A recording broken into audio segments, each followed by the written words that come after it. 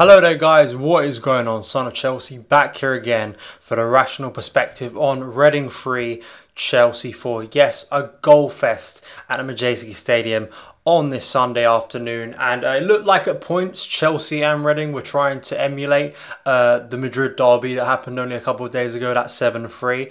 Um, I think mostly obviously positive, you know, 4 3, it's another win, it's another 90 minutes in the tank.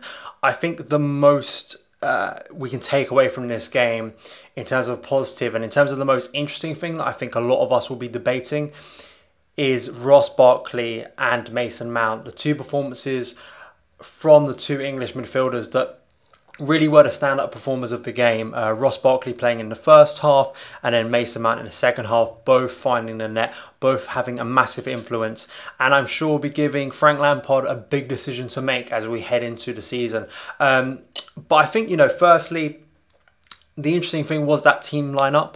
Um, I spoke in the last video about how I thought that the starting lineup for that, the 4 2 3 1, was going to be very similar to what Frank goes with. I don't think I've changed my mind too much on that, but it was just interesting to see that Frank would change up the side, and there was a lot of people, you know, getting irate about it and, and losing their heads as, as usual, usual online about it. And I just thought, you know, you've got to put it in perspective. Lampard will want to see all of his squad, and as well, we've got three games this week. You know, we've got today's game and then we've got uh, Salzburg on Wednesday and then Mönchengladbach next week. So it's the I think in terms of preseason, it's the most amount of games we've had in in a, in a seven day period. So uh, for Frank, I'm sure it's about rotation, it's about getting minutes in the legs, and I actually think today's game, if you take some of the negatives of maybe the slow start within that first half. I think that Frank will be able to maybe whittle down that squad a bit more, get answers about who he trusts, who he won't trust um, in his squad. And I think that was probably the key thing. Even if you're having negatives in a game, as I've said before, pre-season, it's a positive. You know, you want to be learning these things, and I actually think that that will benefit Frank um, as we move closer to that uh, all-important opening game at Old Trafford. Um, so yeah, the slow start uh, was a, was a bit worrying. I think just in the sense that with those players who you know have a chance starting to make an impression, I look at the likes of you know Bakayoko who appeared in that opening few minutes to, to not be able to complete a, a pass. Um, it wasn't a dynamic midfield, was it? You know, Kovacic and Jorginho compared to Drinkwater and Bakayoko, it just doesn't offer you the same dynamism and, and, and quick movement going forward and smart play.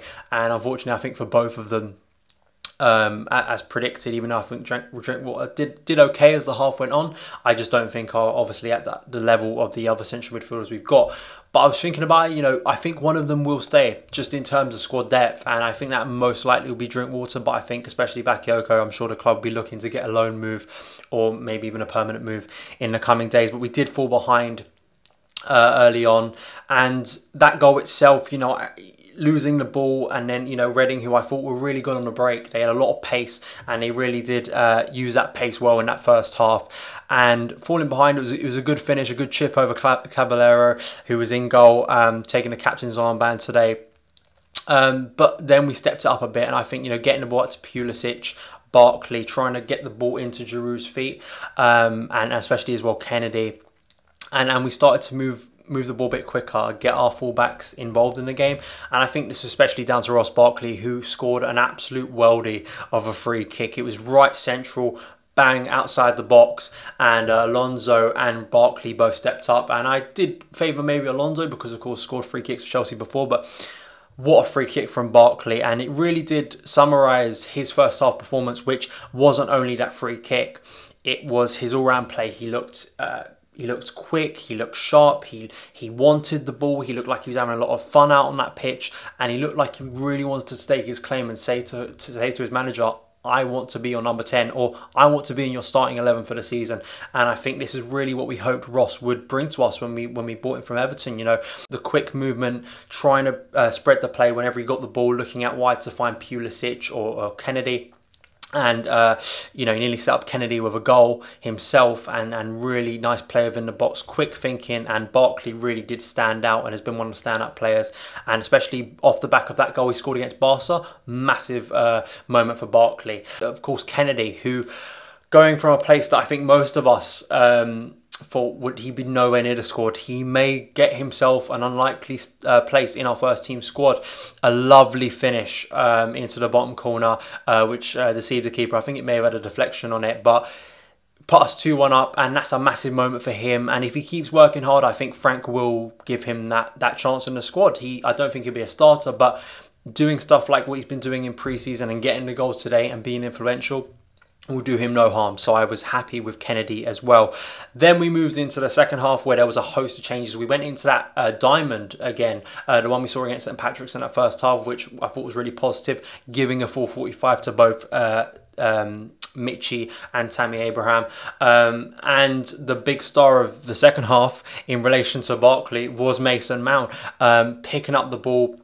And sort of, I think uh, Tammy running forward. He cut the ball back. I don't think it was intended for Mount, but Mount picked it up, took a touch. I know exactly what he wanted to do with it. Top corner, bang, another goal to Majewski. I think Mount as well, you know, he got the second goal as well, which was quite lucky a mistake, and mistaken. Really, it was the easiest tapping ever. But he, like Barkley, so influential and, you know, taking the ball by the horns, really, really making himself known in that game, taking the game by the scruff of the neck.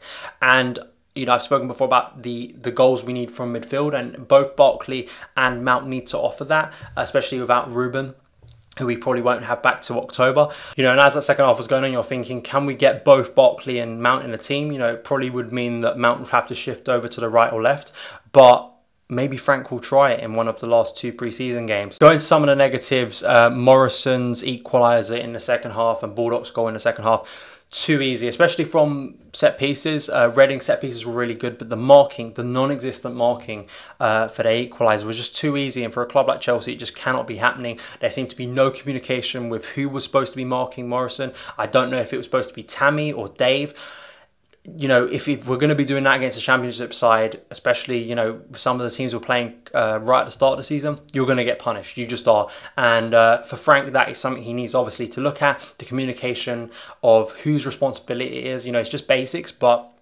those are things that are quite concerning as well. As I said at the start of Goalfest, conceding three goals against the championship side, you know, it is pre-season, so I'll allow that. Um, but I think the the manner in which the goals, especially uh, the second and third goal, came about um, just sloppy. That hopefully will be rectified as we get close to the season. But you know, these are what pre-season games are are for. Um, I think, you know, as well, just small things. Uh, Tammy and Michy and, and Giroud. Uh, Giroud had a great chance from a Barkley ball in the first half um, that you would have backed Giroud to score all day uh, from a lovely set piece. But none of them were able to get on the score sheet. But I think Tammy actually was the best in terms of his link up play again, uh, chesting the ball down, bringing other players into play. You know, he did set up inadvertently maybe that goal for Mount. And I think that Tammy all round, I think probably had the better performance out of all the three strikers that played, in my personal opinion. We are close now to the start of the Premier League season. The final two uh, preseason games against Salzburg and Mönchengladbach next week. Um, very exciting to see how the team shapes up. And as we've continued to discuss and try to get closer to understanding what Frank's team is going to look like, um, it's it's interesting, and I think the biggest positive, of course, Ross Barkley and Mason Mount. Who is your man Who do you think played better? You know, because they both got 45 minutes. Ross or Mason Mount. Uh, so let me know your opinions in the comments below on that. But that's it for the video, guys. Uh, let me know your thoughts on the game in a whole. Everything I've spoken about, the positives, the negatives. Let me know your opinions. Who should be starting at Old Trafford in a couple weeks' time. So thank you guys so much for watching this video. Follow me on Twitter at Son of Chelsea, and I'll see you again.